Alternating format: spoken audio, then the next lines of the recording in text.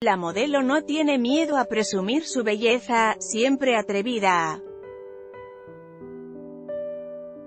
Foto, Getty Images incrementó un poco la cantidad de tela en su traje de baño, pero eso no impidió que mostrara mucha piel en Instagram.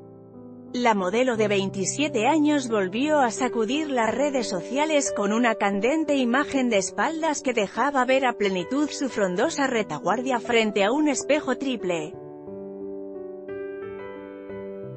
La belleza que aglomera 21,5 millones de seguidores lució su impactante silueta con una cintura de avispa y un bronceado envidiable.